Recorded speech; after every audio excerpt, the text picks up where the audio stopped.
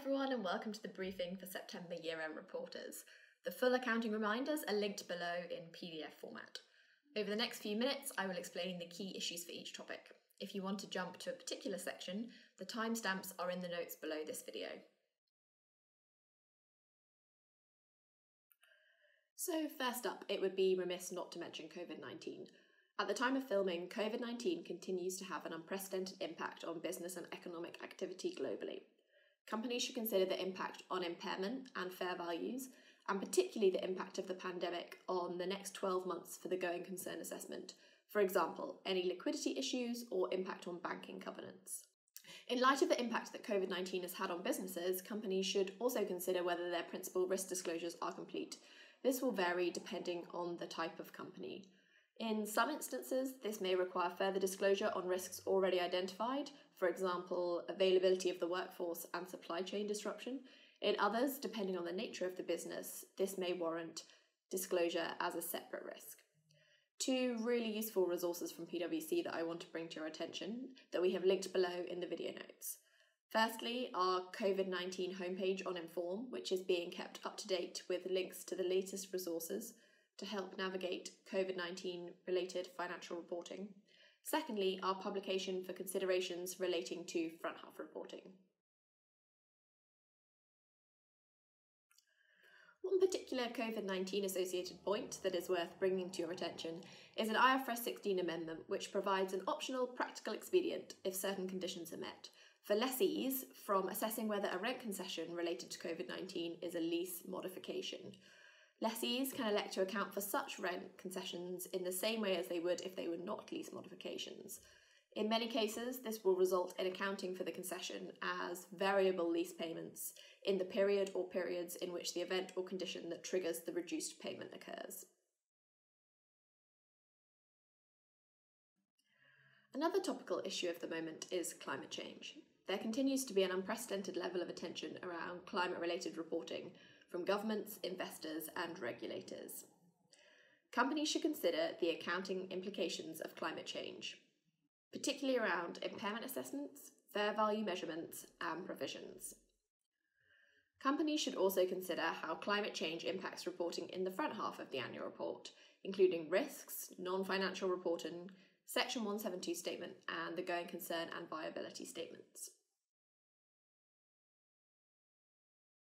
The UK ceased to be a member of the EU on the 31st of January, but until the 31st of December is still subject to EU rules and has remained a member of the Customs Union. The UK's future trading relationship with the EU beyond this date remains subject to negotiation. Irrespective of the outcome of these negotiations, there will likely be significant changes for many UK businesses.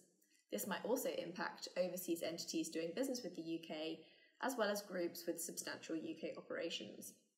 For some businesses, these impacts could be significant, especially when considered alongside the impact of COVID 19, and could include impairments, challenges in estimating valuations, threats to hedge accounting, additional provisions, tax changes, implications for dividend policy, and as a result, enhanced disclosure may be needed. On to IBOR reform. Since the financial crisis, the replacement of interbank benchmark offered rates, known as IBORs, has become priority for global regulators. This is an ongoing process and is happening at different speeds in different parts of the world, but is expected to happen by about 2021 22 in most parts of the world. The IASB has released two phases of amendments to give reliefs from the effects of IBOR reform. Given the pervasive nature of IBOR based contracts, the reliefs could affect companies in all industries.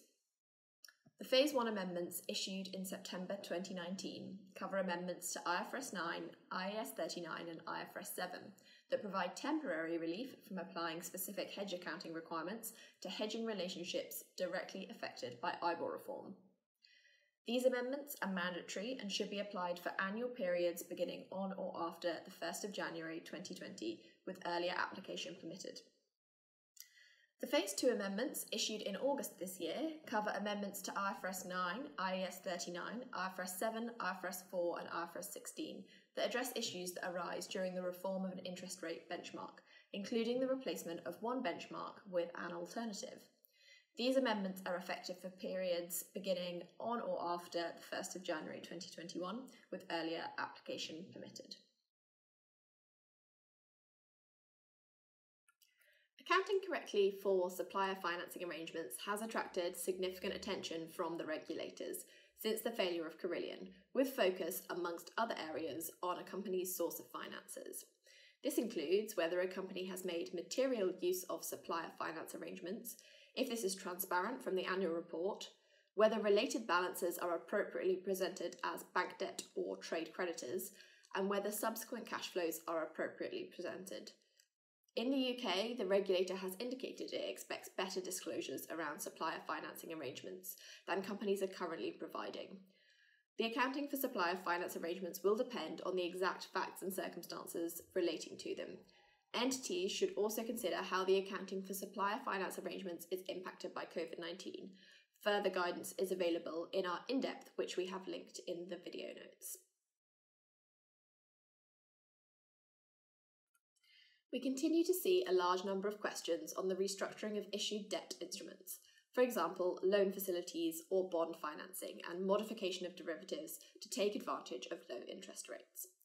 This is a complex area of accounting which can require significant judgment.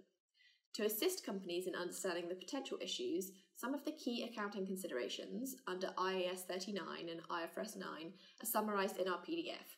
These include determining whether the new and old debt have substantially different terms, treatment of gain or loss on modification or extinguishment of debt, treatment of fees incurred as part of the renegotiation, and use of an intermediary and modifications of derivatives. Impairment is an ongoing area of concern for many of our clients, and regulators remain focused on this area. Some key points to consider in impairment testing are in assessing for impairment, the carrying value should be determined on a consistent basis as the recoverable amount. When using a value in use model, use pre tax cash flows discounted using a pre tax discount rate. The fair value model, which is a post tax model, must use market participant assumptions rather than those of management. The required disclosures in IAS 36 are extensive. IAS 36 requires disclosure of key assumptions and related sensitivity analysis.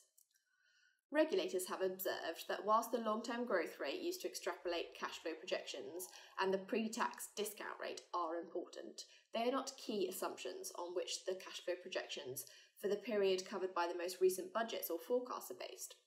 Therefore, attention should also be paid to the discrete growth rate assumptions applied to the cash flows projected to occur before the terminal period. Also, need to consider whether key assumptions stand up against up to date external market data.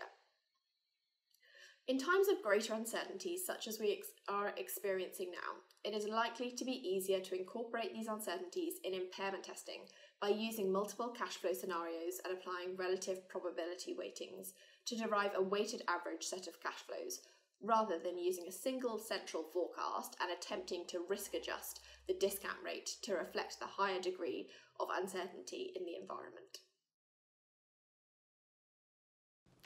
In September 2020, the FRC released two new thematic reviews in respect of IFRS 16 and IFRS 15. The key recommendations highlighted in each of these reviews are included in the full accounting reminders document, which is linked in the description below. In response to several high profile corporate failures, there have been a number of new reporting requirements in the strategic and directors' reports. Personally, I am finding our Where Do I Start guide that we have linked in the video notes a really useful resource in order to assess which requirement applies to which entities as there are different thresholds for each requirement. New reporting requirements include, in the strategic report, the introduction of a Section 172 statement, and in the Director's report, stakeholder and employee engagement reporting, and governance reporting for very large private companies. In addition, for premium listed entities, there is the updated 2018 UK Corporate Governance Code. Streamlined Energy and Carbon Reporting, known as SECR, will also impact quoted companies, large private companies, and large LLPs.